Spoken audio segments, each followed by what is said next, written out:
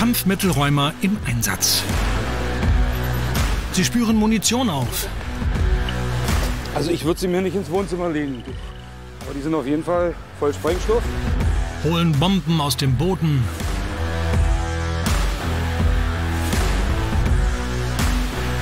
Gerade wenn man auch eine Bombe findet, dann schlägt das Herz noch ein bisschen schneller, das macht schon Spaß. Und vernichten explosive Sprengkörper. Explodiert einer, explodieren die anderen auch.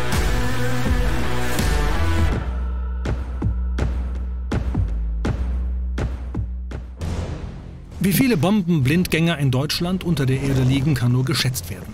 Die Gefahr lauert überall. Seit 1990 kam es zu etwa 20 Selbstdetonationen. Die meisten Blindgängerexplosionen werden jedoch kontrolliert herbeigeführt.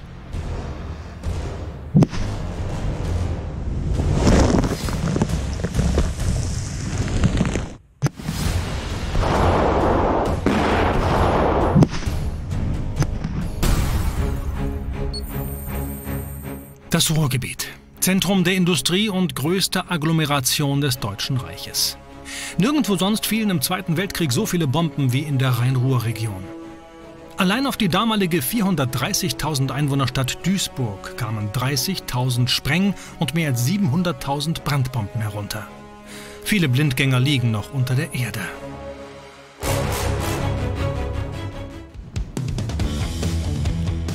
Bernd Lausch ist technischer Einsatzleiter und begutachtet die Räumstelle an der Sechsseenplatte. Moin. Ihr macht Vorbereitung. Welche Fläche nehmt ihr auf jetzt? Die Seite. Die Männer starten bei diesem Einsatz mit der Oberflächensondierung. Er hat eine Orientierung über seine GPS-Antenne. Von daher kann er nicht allzu viel verkehrt machen. Was er verkehrt machen könnte, wäre äh, letztendlich zu schnell zu laufen oder den Messwagen umzukippen aufgrund von irgendwelchen unwesentlichen Dingen, die im Gelände noch rumliegen, wo er drüber gefahren ist oder sowas. Das wäre dann natürlich, die Messung wäre im Eimer und müsste er dann nochmal neu aufzeichnen. Vor der anschließenden Oberflächenberäumung schauen sich die Experten die Messdaten am Computer an. Deuten die Messwerte auf größere Eisenobjekte hin, graben die Kampfmittelräumer die verdächtigen Punkte auf. Das ist die letzte Spur. Bernd Lausch ist schon lange als Kampfmittelräumer tätig. Als er mit dem Job anfing, war die Arbeit beschwerlicher als heute. Das ist jetzt, naja, gefühlt 25, 26 Jahre her. Da hat sich natürlich von der Technik her unheimlich viel verändert. Die Hersteller der Sondiergeräte machen ihre Messgeräte empfindlicher. Sie machen sie händelbarer, sodass von der Beherrschung her der Geräte es wesentlich entlastender und entspannter ist, damit umzugehen. Die Genauigkeit der Messwerte hat sich ebenfalls verbessert in den Jahren. Das hat einen Riesensprung getan, um jetzt eben zu sagen, jawohl, jetzt sind wir in der Lage mit der Technik, die wir an die Hand bekommen, auch saubere, äh, ausgewertete Messdaten äh, für die weitere Bearbeitung der Fläche zur Verfügung zu bekommen. Hier hat Lukas mit dem Sondierwagen noch gut zu tun. Anderswo sind die Männer schon weiter. Bernd Lau schaut bei Jens Konrad vorbei, der die Messergebnisse am Computer analysiert. Konrad ist normalerweise Taucher, Einsatzleiter, hier aber als Truppführer im Einsatz. Der erfahrene Sondierer hat eine Menge größerer Störkörper ermittelt. Wie gesagt, sind alle Störkörper, da haben wir jetzt an die 52 Stück drauf auf dieser Fläche. Mhm. Mhm. Wir uns angucken, das Objekt, das müssen wir dann erstmal lokalisieren und dann aber schauen, schön, was das ist. Aber schön vorsichtig gucken. Ne? Ja, ja. Die Messungen mit dem Magnetometer bekommt Jens auf einer sogenannten Farbkarte dargestellt, in Form von roten und blauen Punkten. Nicht alle Punkte werden sich die Männer genauer anschauen. Prinzip alle größeren Störkörper. Alles, was hier rot-blau ist, im Prinzip Plus und Minus eines Gegenstandes. Die kennzeichne ich hier drauf und gebe die dann im Prinzip zur Bergung frei. Welche Störkörper ich hier auswähle, das ist aus meiner Erfahrung. Sag ich mal, ich mache das jetzt schon 29 Jahre. Dementsprechend weiß ich in etwa, was ist Großmunition und was halt nicht. Ja. Sieht im Prinzip hier deutet sich ein Riesenstörkörper an, also da wird wahrscheinlich ein Riesenfundament drin sein oder eben auch eine Bombe. Und das öffnen wir. Gut, alles klar. Die Männer öffnen nur die großen Störpunkte, um später das Erdreich lagenweise mit dem Bagger abziehen zu können, ohne dabei versehentlich auf etwas Gefährliches zu stoßen. Werden sie heute eine Bombe finden? Das Oderbruch ist eine der am stärksten kampfmittelbelasteten Gegenden in Deutschland. Kurz vor Kriegsende kamen etwa eine Million Rotarmisten über die Oder und zogen die Schlinge um Berlin immer enger. Das Deutsche Reich hatte den Krieg längst verloren. Trotzdem verteidigten 120.000 deutsche Soldaten die Seelower Höhen erbittert. Zehntausende Soldaten verschiedener Nationen verloren ihr Leben. An der deutsch-polnischen Grenze haben die Kampfmittelräumer immer alle Hände voll zu tun. Frank Distel und seine Kollegen haben den Auftrag, einen vier Meter breiten Streifen zu säubern, damit ein neues Breitbandkabel verlegt werden kann. Einsatzbesprechung auf dem Feld. Und wir werden dann im Prinzip den Anschluss zum Deich hier vorne hoch machen und werden dann umsetzen auf diese westliche Seite und gehen da dann ran, bis wir auf dem Deich wieder oben sind. Die Männer sind fast fertig. Seit drei Wochen arbeiten sie an diesem Bauabschnitt. Pro Tag schaffen die Sondierer bis zu vier Kilometer Strecke. Aber nur, wenn sie nichts Großes finden.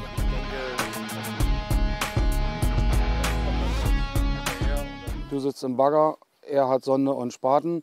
Für die tieferen Löcher, ihr beide macht die Vorsondierung auf der ausgesteckten Trasse.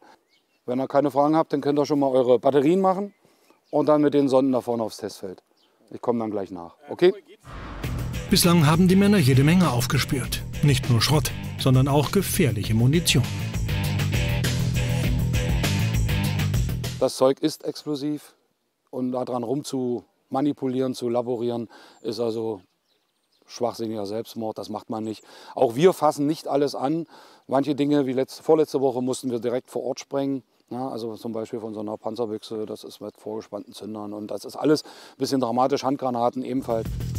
Auch einen Kriegstoten haben Distel und seine Jungs gefunden. Der Leichnam konnte identifiziert und beigesetzt werden. Knapp zwei Kilometer sind noch zu sondieren. Das wichtigste Utensil dabei ist das sogenannte Magnetometer. Darüber kann ich also, ich sage jetzt mal vom Kronkorken bis zu einer großen Fliegerbombe alles finden. Sicherlich äh, ist das abhängig von Umwelteinflüssen von Störungen. Hast du Schotterschlacke, Straßennähe oder hast du äh, sehr tiefe Vergrabungen oder hast du dünne alte Bleche, die sind natürlich schwächer. Äh, andere Sachen haben höhere Magnetfelder, äh, wie zum Beispiel Sprungfedern oder Magneten direkt. So, und hier habe ich verschiedene Bereiche, wo man also die Empfindlichkeit einstellen kann. Wir reden hier von Nano-Tesla, also von einer ganz geringen Magnetfeldstärke. Hier drin sind zwei Spulen und die messen im Prinzip um sich herum eine ein Veränderung des Feldes. Zeigt die Sonde ein magnetisches Objekt an, fangen die Männer sehr vorsichtig an zu buddeln. Schließlich könnte etwas Explosives im Boden liegen. Treffen die Kampfmittelräumer mit dem Spaten unglücklich den Zünder einer scharfen Granate, kann es schlimm ausgehen. Ein kleines Loch muss gemacht werden. Ja, also das ist ein Kompromiss. Äh, man muss sehr vorsichtig sein. Man hebelt nichts raus. Man versucht nicht mit Axt, Beil, Hammer äh, sich da durch die äh, Decke zu kratzen oder zu schlagen. Also, ja, ja. also im Prinzip äh, muss man da einen Kompromiss finden. Jetzt schauen wir mal. Naja, siehst du wohl, da haben wir es doch schon. Gut, das ist jetzt was, ah, das ist nicht ganz so dramatisch. Das ist das Leitwerk von einer Granate. Granatleitwerke finden Kampfmittelräumer häufig. Das Leitwerk wird bei der Detonation des Geschosses abgesprengt.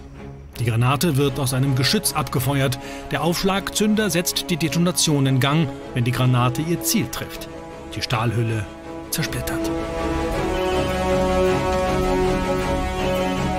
Ein Leitwerk ist zwar ungefährlicher Schrott, wird aber dennoch vom Kampfmittelräumdienst als Munitionsmüll mitgenommen. Frank ist sicher, dass noch gefährlicheres Metall im Boden lauert. Für ihn kein Problem. Mit einem gewissen Restrisiko, aber Vorsicht und Erfahrung sollte das eigentlich machbar sein. Toi, toi, toi, bei uns ist noch nie was passiert, aber äh, das Zeug ist nicht ohne. Man sollte da schon vorsichtig sein. Gerade hier am Deich haben die Kampfmittelräumer viele Funde. Vermutlich wurde der Wall von den Verteidigern als natürliche Deckung genutzt und dementsprechend intensiv beschossen. Tatsächlich. Sondierer Andrew Schiebel ist auf etwas gestoßen. Frank, kannst du mal bitte gucken? Jo, warte mal. Kannst du mal bitte? So, na da haben wir ihn doch schon. Hühnerschrecker. Eine Werfergranate. Von der Sorte hatten wir schon eine ganze Reihe. Die kann man so ein bisschen hin. So, hier seht ihr den klassischen verschossene Werfergranate. An der Stelle äh, stecken wir jetzt einen Flock rein. Das ist jetzt ein Klassiker. Da werde ich dann nachher den Munitionsbergungsdienst, wenn wir unseren Abschnitt hier durch haben, informieren. Und dann wollen wir mal schauen, das werden die, denke ich, noch heute abholen. Die Granate ist nicht mehr akut gefährlich. Aufgrund der möglichen Sprengstoffrückstände muss das Geschoss aber trotzdem vom Kampfmittelbeseitigungsdienst abgeholt werden. Die Löcher, das, das hier drüben kann zu. Und du kannst hier weitermachen, dass wir diesen, diese 20 Meter hier fertig haben. Jetzt machen die Männer auf der anderen Deichseite weiter. Auch dort rechnet Frank mit reichlich Munition. In Duisburg läuft währenddessen die sogenannte Störkörperberäumung. Auf diesem Teil der Baustelle war früher ein Kleingartengelände. Die Männer öffnen die Verdachtspunkte, die sich aus der Oberflächensondierung ergeben haben, Punkt für Punkt. Mühsam. 53 Punkte habt ihr hier? Ja. Noch eine ganze Menge. Naja, aber hier sind ja die Leitungen. Die haben wir ja vorhin bei der Auswertung schon gesehen. Das werden also mehrere Punkte sein, die zusammengefasst die Leitung bilden. Ne? Naja. Gut, dann macht mal auf. Schauen wir mal, was wir finden. Bombenfunde sind im Ruhrgebiet häufig. Allein beim größten Luftangriff auf Duisburg im Oktober 1944 warfen die Alliierten 9000 Tonnen Bomben auf die Stadt ab. 3000 Menschen starben. Insgesamt wurde Duisburg 311 Mal bombardiert. Graben die Männer ein tieferes Objekt mit dem Bagger frei, muss der Baggerfahrer das Abraummaterial vorsichtig ausklappern.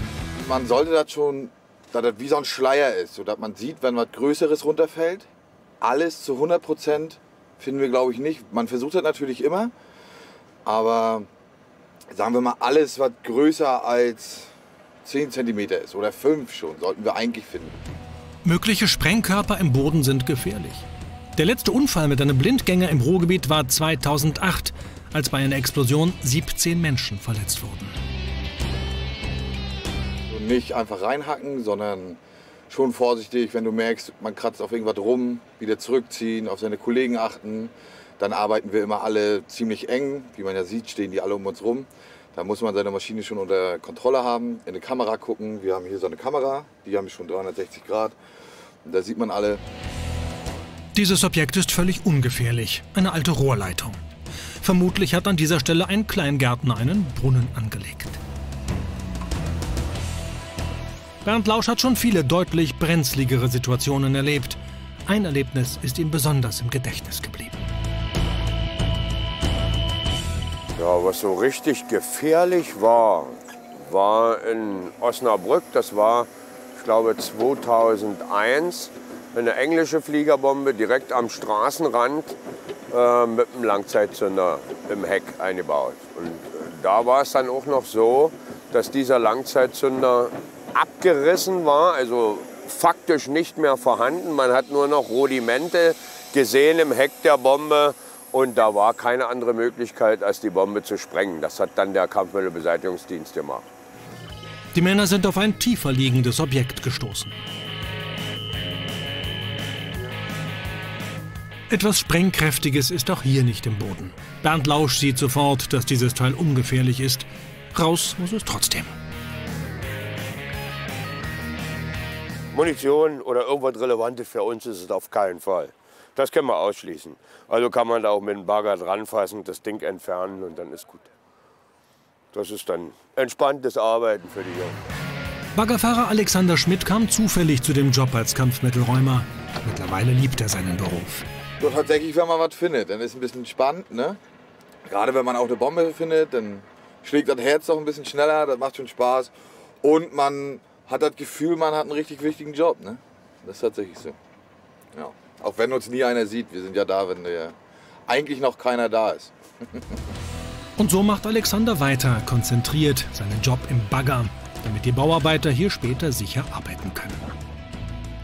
Knapp einen Kilometer weiter nördlich sind die Kollegen schon beim nächsten Arbeitsschritt. Dort ist die Störkörperberäumung abgeschlossen. Die Männer ziehen den Boden lagenweise ab. Dieses Vorgehen hat einen guten Grund. Man sieht ja sehr schön den Bereich der Auffüllungen, die im Prinzip nach 1945 hier auf dieses Gelände gekommen ist. Und da kann niemand ausschließen, dass nicht vielleicht doch das eine oder andere äh, Objekt mit einem gewissen Gepa Gefahrenpotenzial dazwischen ist, eben noch dabei ist. Und das ist unsere Aufgabe, das sicherzustellen, dass eben halt dort keine Gefahr davon ausgeht. In den Aufschüttungen sind so viele metallische Körper, dass die Kampfmittelräumer mit dem Magnetometer nicht vernünftig sondieren könnten. Beim Abziehen müssen die Männer hoch konzentriert sein und ein gutes Auge beweisen, so wie Jens Konrad, der etwas im Sand entdeckt hat. Bernd Lausch schaut sich den Fund an. So, haben wir sie raus. Ja, wir haben jetzt gerade eine INC 4 Lips englischer Bauart gefunden. Diese, das Zündsystem ist im Prinzip nicht mehr vorhanden. Und dementsprechend können wir die bergen, sicherstellen und an den Kampfmittelräumdienst dann übergeben. Stabbrandbomben haben eine Hülle aus Elektron, einem Metall, das sehr lange und intensiv brennt. Im Inneren befindet sich eingepresstes Thermit, das beim Aufschlag durch das Zündsystem in Brand gesetzt wird. Die Hitze überträgt sich auf die Elektronhülle. Die Bombe brennt bis auf das Fallgewicht ab. Ja, soweit. Soweit ist sie noch komplett. Oben das Zündergehäuse abgebrochen, Leitwerk weg. Etwa acht Minuten betrug die Branddauer. Das hat offensichtlich nicht funktioniert. Vermutlich irgendwo abgebrochen beim Aufschlag. Es ist von der Sache her ein Explosivstoff behaftetes Objekt, aber für uns jetzt erstmal keine großartige Gefahr in dem Sinne. Jens Konrad hat die Bombe sofort als solche identifiziert, als sie zwischen dem Abbaumaterial beim Ausklappern zu Boden gefallen ist. Wenn ich den nicht erkennen kann, also es von vornherein nicht identifizieren kann, gebe ich natürlich auch einen Stopp und gucke es mir dann an. Wenn ich es nicht sicher sagen kann, ist es Munition oder nicht. Also gucke ich mir dann alles an. Ja, wenn dort eine Kugel rausfällt, gucke ich mir die natürlich auch an, könnte dort ein Munitionskörper drin sein. Bernd Lausch darf die Bombe nur auf der Baustelle im Auto transportieren. Auf eine öffentliche Straße dürfte er damit nicht fahren. Auch nach 80 Jahren in der Erde ist die Bombe noch brandfähig. Naja, darf man einfach nicht ängstlich, aber vorsichtig sein. Ne? Und insofern haben wir jetzt hier uns beide nochmal abgestimmt, es ist hier eine relativ geringe Gefahr, die von diesem Munitionskörper so ausgeht. Diese Bombe kommt später ins Tageslager und wird schließlich vom Kampfmittelräumdienst abgeholt. Kommt heute noch weitere Munition hinzu?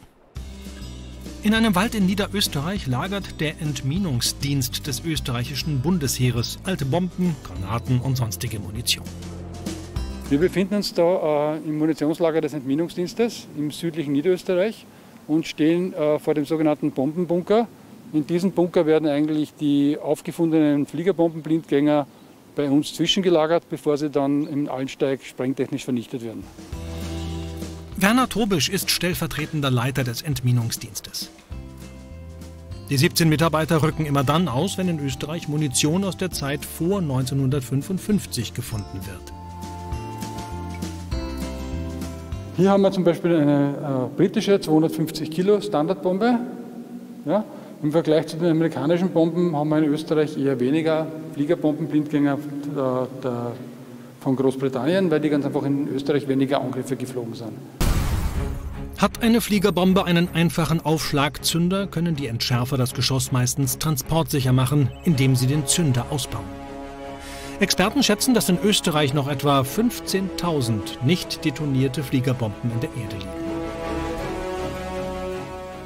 Da sieht man zum Beispiel im Gegensatz zur vorigen Bombe eine amerikanische 250 Kilo Fliegerbombe, äh, die sozusagen das Standardkaliber war, mit dem Österreich bombardiert worden ist. Es ist lediglich natürlich die Zündvorrichtung, also der Zünder, für den Transport schon vor Ort ausgebaut worden und die scharfen Bomben werden dann, wie gesagt, hier zwischengelagert. Mehr als 1000 Mal pro Jahr rücken die Spezialisten des Entminungsdienstes aus. Entweder weil private Sondierfirmen Kampfmittel aufspüren oder aber weil Privatleute durch Zufall auf Munition stoßen. Neben britischer und amerikanischer Munition lagert das österreichische Bundesheer in Niederösterreich auch russische Sprengkörper. Auch deutsche. Was wir hier sehen zum Beispiel sind zwei Bomben äh, deutscher Fertigung, also Großdeutsches Reich im Zweiten Weltkrieg, die bei uns ebenfalls im Bundesgebiet relativ häufig aufgefunden werden, allerdings weniger, weil sie äh, abgeworfen wurden über dem Bundesgebiet, sondern eigentlich auf damaligen deutschen Flugplätzen einfach nicht mehr zum Einsatz gekommen sind und dort gelagert waren und dann in Vergessenheit geraten sind oder überschüttet worden sind oder verschüttet worden sind. Und die werden ebenfalls noch äh, regelmäßig gefunden bei uns. Bis zu einem halben Jahr bleibt die Munition hier. Dann werden die gefundenen Kriegsrelikte kontrolliert gesprengt. Bis zu 30 Tonnen kommen pro Jahr zusammen. Der Entminungsdienst kümmert sich dabei längst nicht nur um Bomben. Kleinere Munition wird von uns eigentlich in solchen Kisten äh, gesammelt und so gelagert und dann eigentlich mit diesen Kisten äh, nach Altsteig transportiert und eigentlich zusammen mit diesen Kisten in den Sprenglöchern zum Sprengen vorbereitet damit man nicht wirklich jede einzelne Granate 17.000 Mal angreifen muss und umlagern muss, sondern dass es eigentlich alles gesammelt in einer Kiste ist. Und so kann man das ganz einfach leichter handhaben und sicherer dann der Vernichtung zuführen. Der Entminungsdienst macht das Land sicherer. Jedes Jahr gibt es in Österreich Unfälle mit Kampfmitteln aufgrund falscher Handhabung durch Laien. Die Munition wird dann bei uns eigentlich, sage ich mal, der Munitionsfamilie entsprechend auf solche äh, Stahlbehälter aufgeteilt, einfach um einen besseren Überblick zu haben, um die Lagerführung leichter zu machen. Da haben wir jetzt zum Beispiel Werfergranaten, verschiedene Kaliber, die eigentlich damals aus Granatwerfern verschossen wurden. Hier haben wir jede Menge Panzerfäuste und man sieht schon beim, am Grad der Verschmutzung, dass es nicht unbedingt jetzt für einen Laien sofort als Panzerfaust oder Panzerfaustkopf erkennbar ist, sondern halt einfach irgendwie als interessantes Metallteil zuerst einmal ausschaut was aber in weiterer Folge bei der, bei der Handhabung sehr gefährlich sein kann, wenn man es falsch handhabt. Die schaut jetzt ein bisschen sauberer aus, da erkennt man dann schon eher die Form und das wird dann wahrscheinlich eher jeden dazu bringen, dass er sagt, okay, das könnte gefährlich sein. Ja. Bald ist es wieder soweit. Dann wird diese Munition auf dem Truppenübungsplatz Allensteig durch Sprengung vernichtet.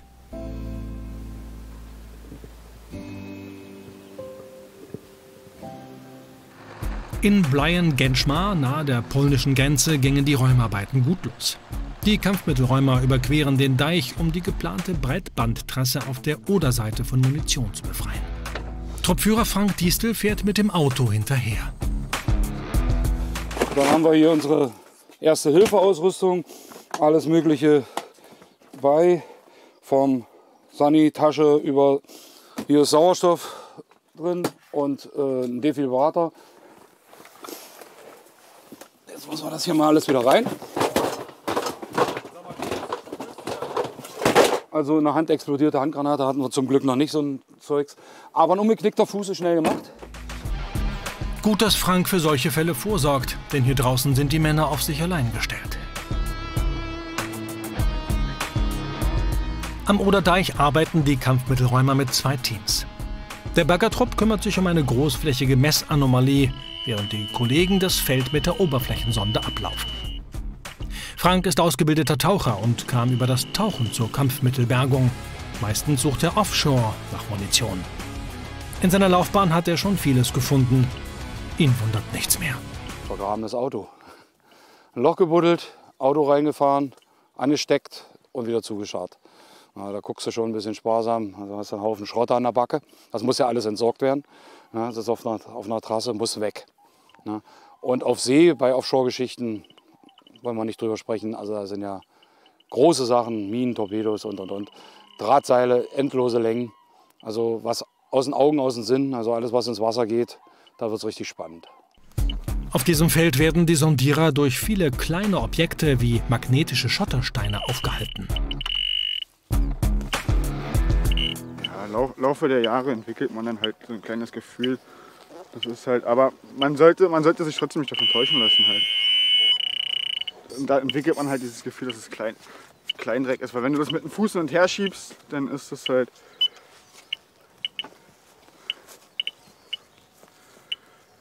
Kannst du zumachen. Im Oderbruch gilt eine Fläche von 100 Kilometer in nord-südlicher und 30 Kilometer in ost-westlicher Ausdehnung als stark kampfmittelbelastet. Wer dort bauen will, muss vorher zwingend nach Kampfmitteln suchen. Als ausgebildeter Feuerwerker ist Frank Diestel als einziger im Räumteam berechtigt, Munition anzufassen. Finden die Kollegen etwas, muss er das Objekt identifizieren und sein Gefahrenpotenzial beurteilen. Frank, kannst du mal gucken kommen, bitte? Diese Stelle sieht auf den ersten Blick verdächtig aus. Mal bitte her. Da haben wir es doch schon. Ja. Das sind mindestens zwei. Ach, warte. Das ist doch schon wieder der Klassiker. Wenn man hier hinter guckt, sieht man so ein paar Büsche stehen. Da war mal ein Gehöft früher. Und da haben wir letzte Woche auch schon was ausgegraben. Was sehr, sehr ähnlich aussah. Mal hier mal ein bisschen. Das ist die Granate, das ist hinten die Hülse. Ne? Wahrscheinlich unverschossen, aber unbrauchbar gemacht. Das hatten wir auch schon gefunden letzte Woche. Da sind die wahrscheinlich mit einem Panzer oder einem großen Fahrzeug drüber gefahren. Die sind verschossen. Die lassen wir mal hier. Nee, wir legen die mal hier hoch. Und du guckst noch mal rein. Andrew sondiert die Stelle noch einmal nach. Damit sie die Messungen nicht stören, legt Frank die Granaten beiseite. Tatsächlich verbirgt sich ein weiterer Sprengkörper in dem Loch. Frank Diestel hat eine klare Meinung zur Gefährlichkeit dieser Granaten.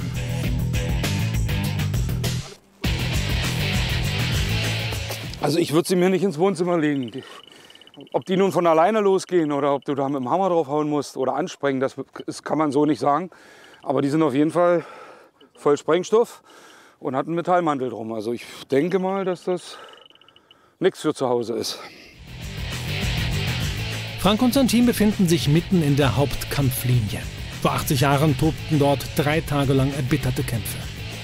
Zweimal gehen die Männer jede Trasse ab, um die erforderliche Breite von vier Metern zu detektieren. Ständig müssen sie dabei anhalten.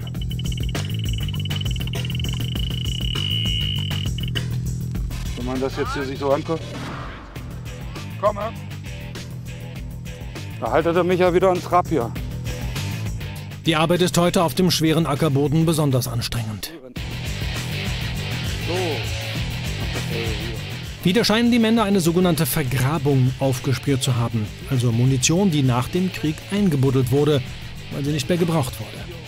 So finden die Kampfmittelräumer gleich mehrere Munitionsteile auf einem Haufen.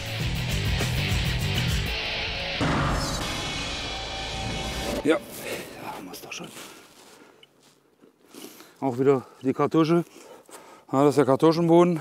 Das ist normalerweise rund. Und hier steckt die Granate drin, die dann hinausfliegt. Kannst du? Gut. Ja, ich muss erst mal da hoch, die haben noch was. Ihr macht hier gründlich weiter. Da komme ich ja noch in Schweiß. Jetzt rufen die Kollegen vom Baggertrupp Frank um Hilfe. Der Kollege hat einen sehr großen Wert gemessen, der relativ weit in Richtung Deich geht und mitten auf der Trasse liegt. Frank schaut sich die Sache genauer an. Weiter hier rüber. Da haben wir eine 10.000 halb hier Ja. vorne. Hier haben wir eine 10.000.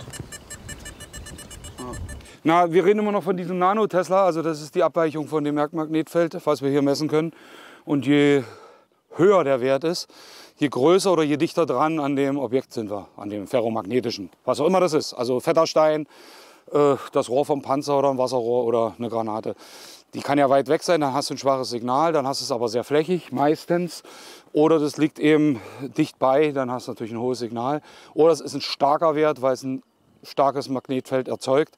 Zum Beispiel eine dickwandige eine Bombe oder ein Lautsprechermagnet, das wäre so die Krönung. Äh, kannst du alles haben hier. Ne? So, also ich würde mal so sagen. Kannst du mit dem Bagger hier, ich mach mal den Haufen hier wegziehen? Die Kampfmittelräumer haben Blut geleckt. Diese Messung ist erfolgsversprechend. Was fördert der Bagger zutage? Vom Oderbruch ins österreichische Waldviertel.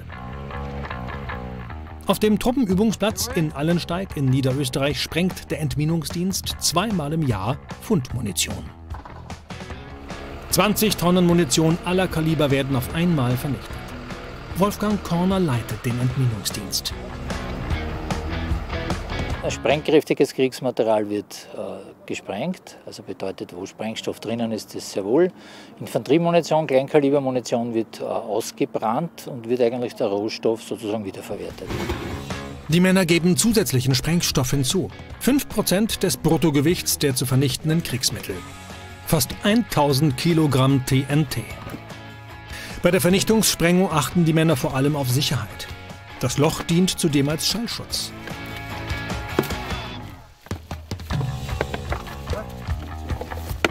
Läuft eigentlich so, dass es werden Erdlöcher gegraben, dann werden Granaten, Bomben jeglicher Art, also eher Granaten, nebeneinander äh, hingelegt, geschlichtet. Äh, dann mit einer Initialladung, die ist dann meistens eine Bombe, weil dann da 100 Kilo Sprengstoff sozusagen drinnen sind. Nach einem halben Arbeitstag sind die Vorbereitungen abgeschlossen.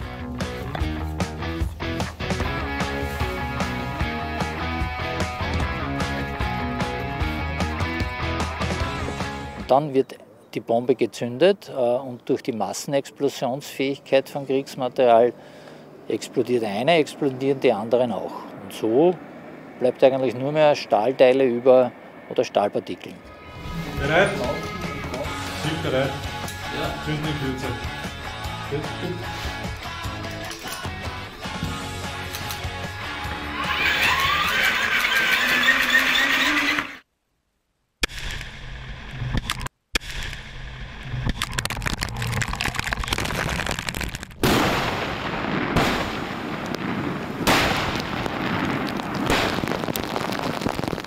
Wolfgang Korner hat das Land wieder ein Stück sicherer gemacht. Er liebt seinen Job. Ja, es ist ein Mischmasch aus vielen Sachen. Es ist sehr wohl auch technisch anspruchsvoll und äh, man ist nie ortsgebunden, man ist an viele verschiedene Orte und das ständig und immer und hat jeden Tag eigentlich neue Situationen. Und das hat mir vor vielen, vielen Jahrzehnten, muss ich leider schon sagen, am besten gefallen.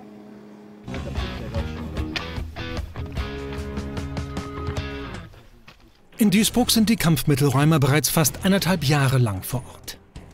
In der Zeit haben sie nicht nur Munition aus der Erde geholt. Ja, das sind hier alles Dinge, die wir beim lagenweise Abziehen festgestellt haben.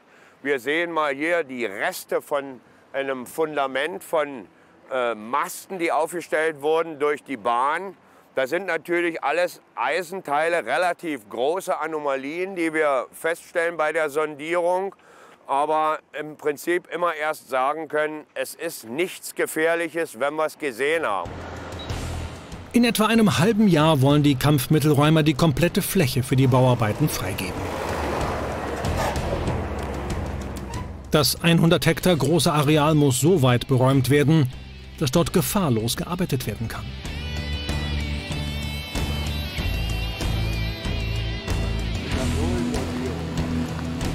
Nach der Störkörperberäumung ziehen die Männer die Erde so weit ab, bis sie im sauberen Boden sondieren können. Nun können die Experten mit dem Magnetometer einzelne Objekte auffinden. Mehrere Verdachtspunkte haben sie schon geöffnet. Ein Punkt ist noch offen.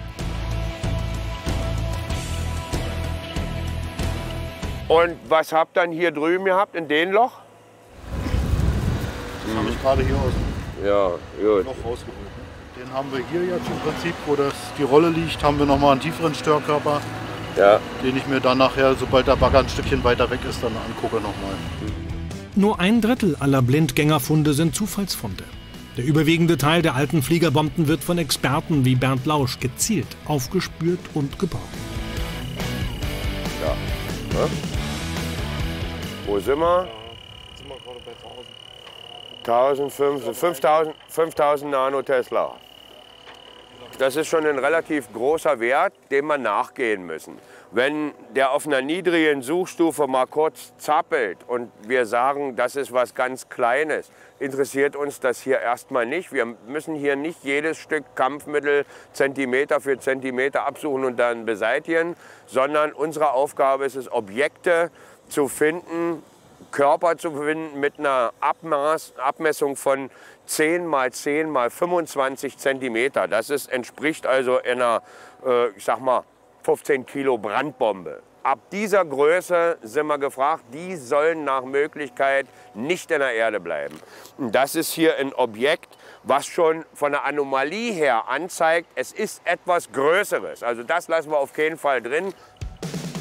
Vorsichtig schauen die Männer mit dem Spaten nach. Was finden sie hier in der Erde?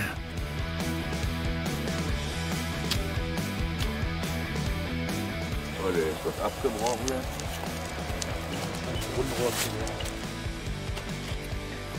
Ja, das kriegen wir raus. Enttäuscht ist Bernd Lausch nicht.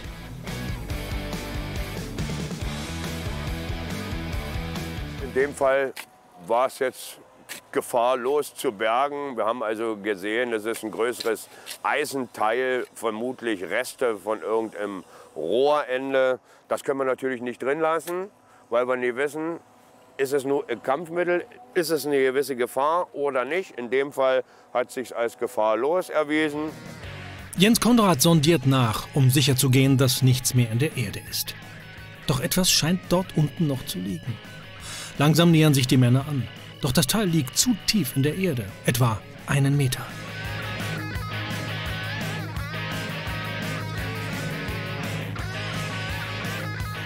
Ein Fall für den Bagger.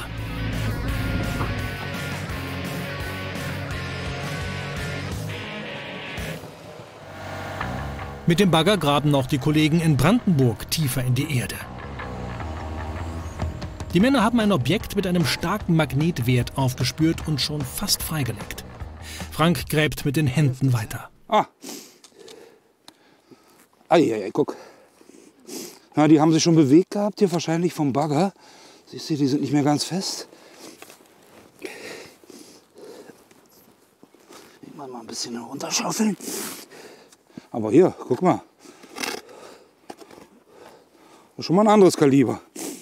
Was hat Frank gefunden? Das wissen wir noch nicht. So weit sind wir noch nicht. Oh ja, gucken Sie an. Hier, hier. Das war es noch lange nicht. Dieser Verdachtspunkt hat es in sich. Gleich mehrere Teile unterschiedlicher Art finden die Sondierer in dem Loch.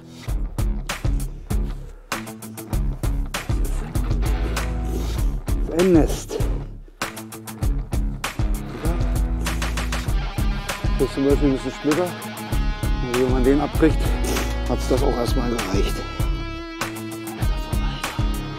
Alter Verwalter. Ja. Hat einen glatten Boden.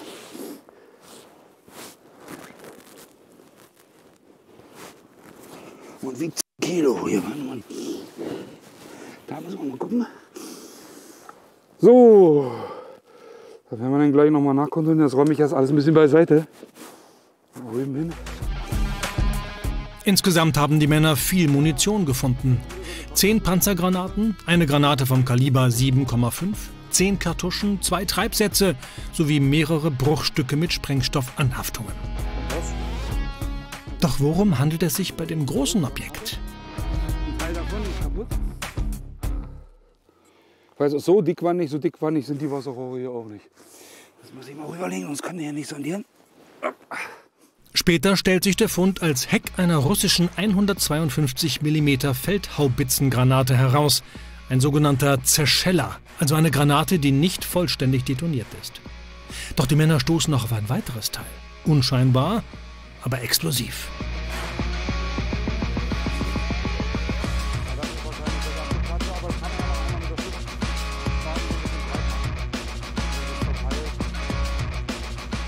Siehst du? Na, da haben wir den Salat. Das ist auf jeden Fall noch eine Anhaftung. Das kannst du also nicht in den Haushaltsmüll schmeißen. Also kein Schrott. Das ist ziemlich sicher Sprengstoff. Was jetzt hier so wie Schimmel aussieht, ja, das ist ein Stück abgeplatzt. Kann man schwer sagen. Hier vielleicht ist auch leicht. Ja, Verhältnis. Dieser Tag war sehr ergiebig. Frank ist zufrieden. Er ruft den brandenburgischen Kampfmittelbeseitigungsdienst.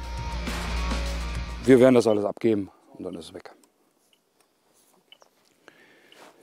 Und? Gut, dann kann er da vorsichtig zumachen und bleibt mit dem Bagger aber noch hier. Alle die Teile der heutigen Ausbeute sind im Prinzip transportfähig und können heute Nachmittag an den staatlichen Kampfmittelräumdienst übergeben werden. Und wir können die Grabungslöcher schließen und aufräumen und dann für heute Feierabend machen. Einmal kommen Frank Diestel und seine Kollegen noch wieder. Dann kann das neue Breitbandkabel sicher verlegt werden. Zurück in Duisburg. Nachdem der Baggerfahrer seinen Job erledigt hat, muss er sein Arbeitsgerät von der Sondierstelle wegfahren. Andernfalls könnte der Bagger die Messung stören.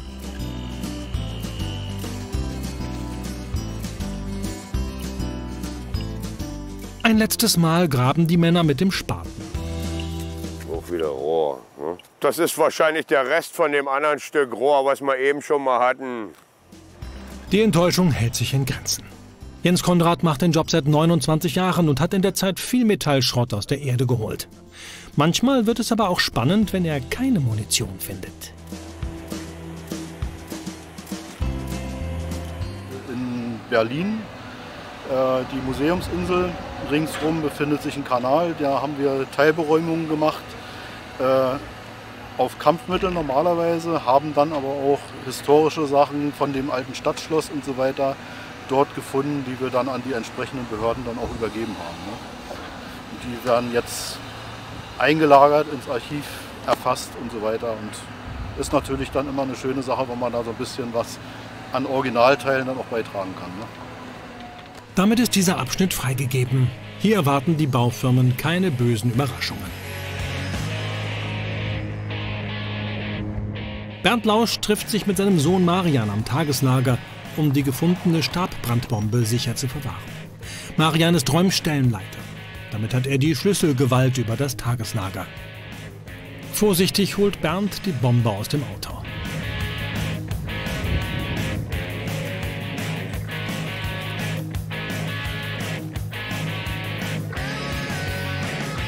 So, dann Schlüssel hast du alles, ja? Das Tageslager ist eine Kiste, die im Boden verankert und mit mehreren Schlössern gesichert ist. Mach erstmal auf die Deckel. Und dort wird sie jetzt in dem speziellen Fall bis morgen Vormittag gelagert. Dann geht heute noch eine Information ans Ordnungsamt raus. Die übermitteln die Nachricht an den Kampfmittelbeseitigungsdienst und dann kommt ein Einsatzfahrzeug hier, welches in der Nähe ist, vorbei, nimmt die Munition ab sodass am Wochenende gewährleistet ist, dass keine Munitionsgegenstände, Waffenteile oder irgendwas in der Art hier vor Ort unbeaufsichtigt ist. Brandmunition muss aus Sicherheitsgründen gesondert von anderen Kampfmitteln wie Artilleriemunition gelagert werden. Das ist heute nicht weiter problematisch, denn außer der Brandbombe haben die Männer nichts gefunden. Sorgsam verschließt Marian die 250 Kilo schwere Eisenkiste.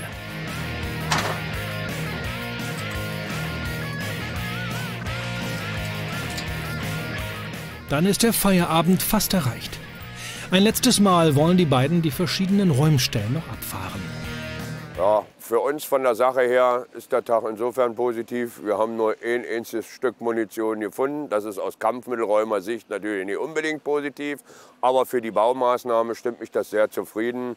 Und dann mal gucken, wie weit wir den Tag heute noch abschließen. Vielleicht finden wir noch das eine oder andere. Wenn nicht, ist das aber auch nicht schlimm dann haben wir unser Tagessoll erfüllt für heute. Und tatsächlich ahnt Bernd noch nicht, dass auf ihn und sein Team ein erneuter Fund wartet.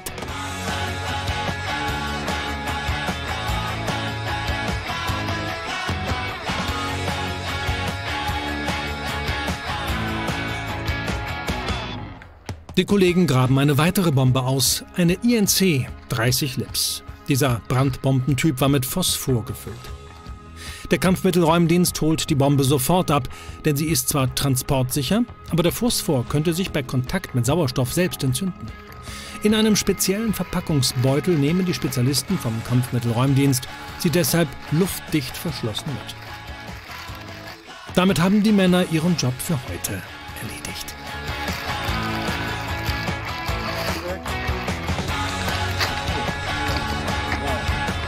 Vielen Dank. Etwa die Hälfte der gesamten Bombenlast, die über dem Gebiet des Deutschen Reiches abgeworfen wurde, fiel auf Nordrhein-Westfalen. Kampfmittelräumer werden in Zukunft noch alle Hände voll zu tun haben, die Altlasten des Krieges zu beseitigen.